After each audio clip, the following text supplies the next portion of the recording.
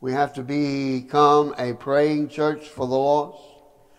We have to become a praying church that this church will grow and win souls for the Lord. Look at sec- uh, 1 Timothy, the second chapter. this is Paul's instructions to the church. I think it's God's instructions for us. You'll remember, I hope, that last Sunday I preached the message. I said, The lost cannot be saved and will not be saved unless someone's praying for them. After I left, I got to thinking, well, you know, maybe God can save whoever He wants to. So maybe my remark that they will not be saved doesn't hold any water. And I don't know whether you agreed with that statement or not, but I took it out of a book that says we need to pray for the lost. A book by that was written by Lee Thomas. and that was the headlines to start off that book. The lost will not be saved and cannot be saved unless we pray for them. Do you know of any lost? Do we pray for the lost by name? Or do we simply say, I'm praying for the lost? Look at 1 uh, Timothy, the second chapter, the first verse. Paul says, I urge you, first of all, to pray for all people. These are the words of the Lord through Paul to us. I urge you. We can't sit back. We have, it's an urgent request. I urge you, first of all, before you do anything else, pray for all people. Ask God to help them intercede on their behalf, and give thanks for them.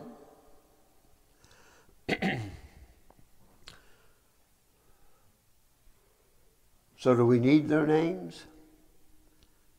Do you know of anyone that's lost that we need to be praying about? You need to think about the lost. And we need to get our minds in tune that God can say, These are the ones I want to save. You pray for them. He says, Pray this way for kings and all who are in authority.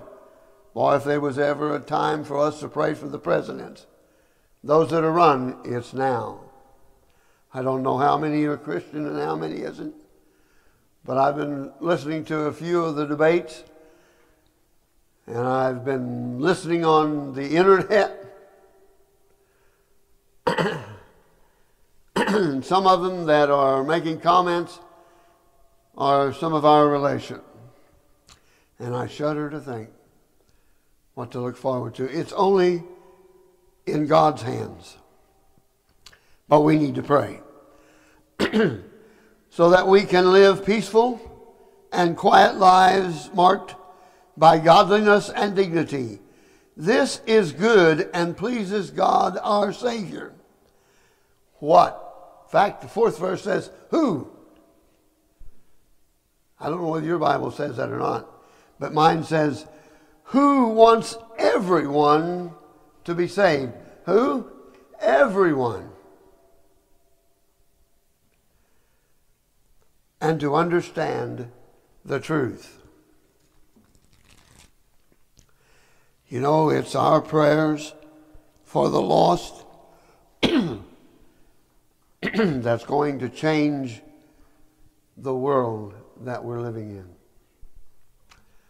That's how powerful our prayers are.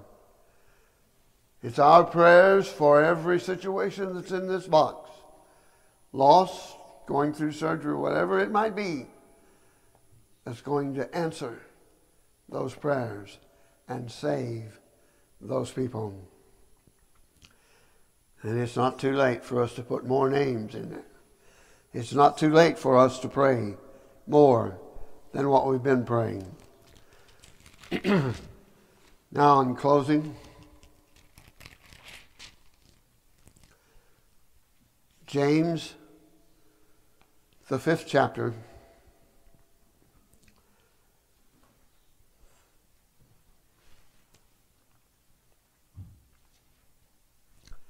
16th verse. Starts out by saying, Confess your sins to each other. We need to witness to one another about how God is working in our life and how sure we are that we're saved.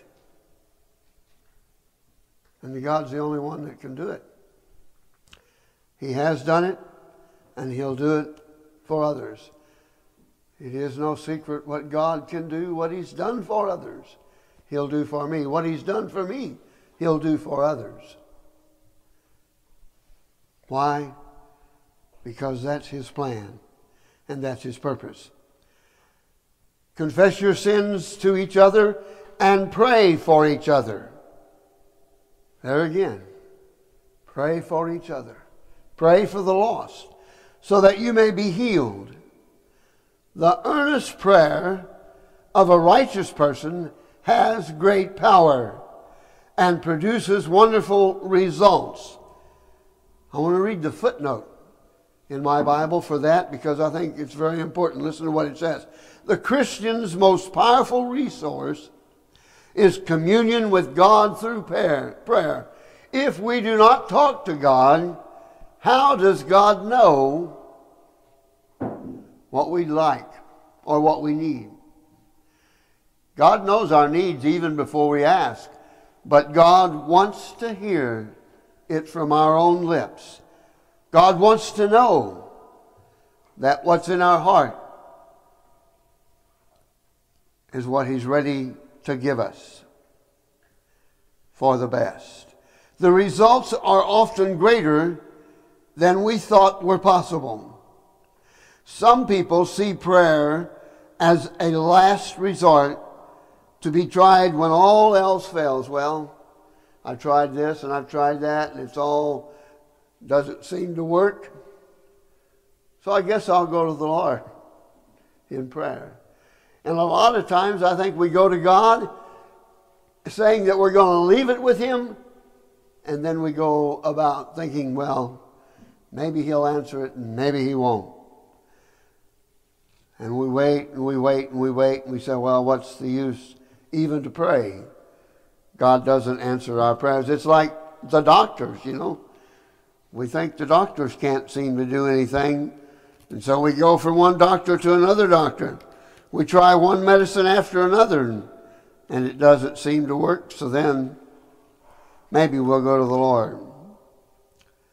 He is the great physician, you know. This approach is backward. Prayer should come first because God's power is infinitely greater than ours. It only makes sense, listen to this, it only makes sense to rely on it. Made me think about the frogs. You see, we didn't just come up with the frogs out of nowhere, it's right here in the Bible.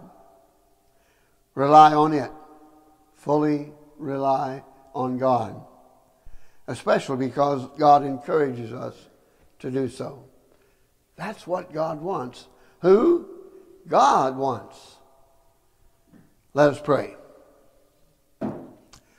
Our gracious Heavenly Father,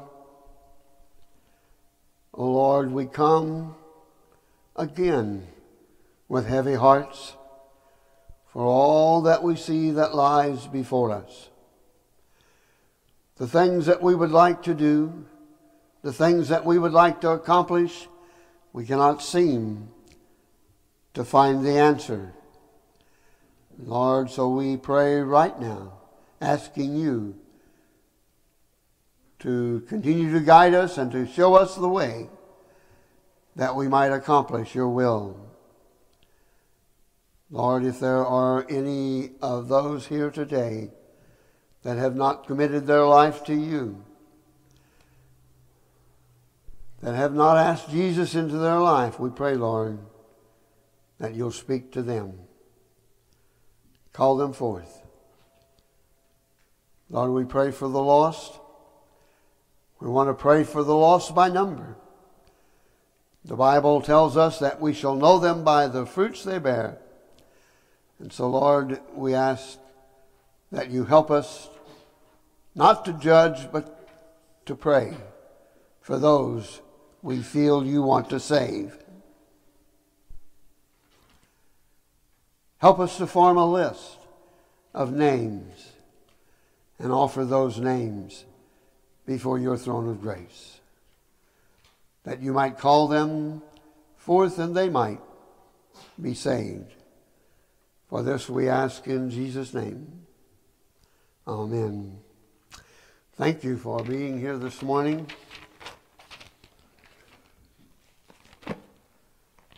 Sorry, I got long winded again. Let's stand together. I'm going to close this a little bit different this morning. I want to give you an opportunity if the Lord.